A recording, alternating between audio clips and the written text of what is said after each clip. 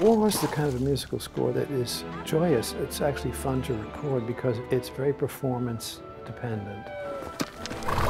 We need to try to create something special that you really can't synthesize with a computer or overlay with, with, with the complexities of a new technology.